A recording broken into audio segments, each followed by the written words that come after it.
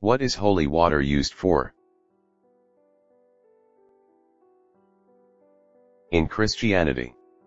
In Catholicism, Anglicanism, Eastern Orthodoxy, Oriental Orthodoxy and some other churches, holy water is water that has been sanctified by a priest for the purpose of baptism, blessing of persons, places, and objects, or as a means of repelling evil.